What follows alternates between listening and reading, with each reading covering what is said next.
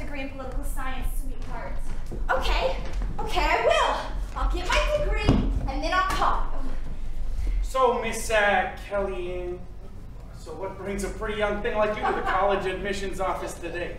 Uh, well, sir, I want to get my degree in political science so that I can be a TV newswoman. And you can see through my transcripts. Uh, Kellyanne, let me help you out real quick.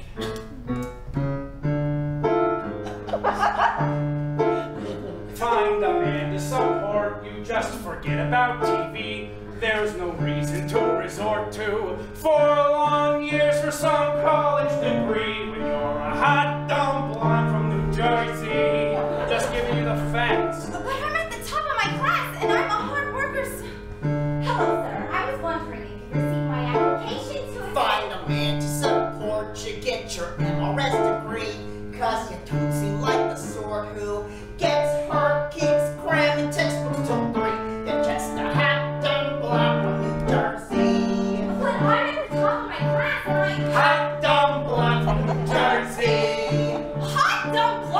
From New Jersey!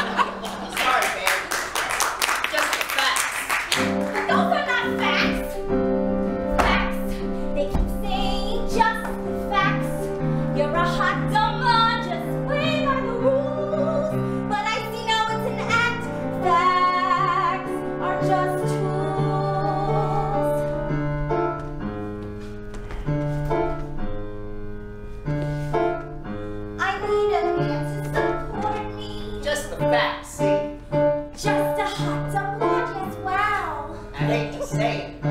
I'm just not the college sort, gee. Yeah, exactly.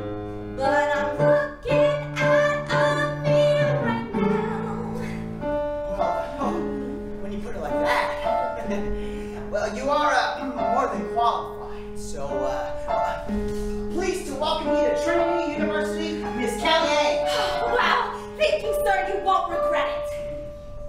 Well, we should keep in touch. Oh, yeah, I'll call you. But you don't have my number. Oh, yes, I do.